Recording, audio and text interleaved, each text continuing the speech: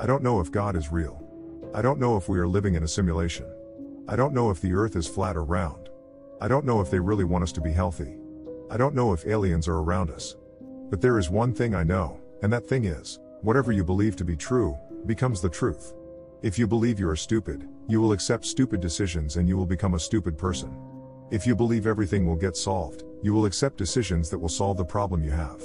If you believe that you don't deserve to become financially free because your parents told you it is not possible, you will accept decisions that will make you poor forever.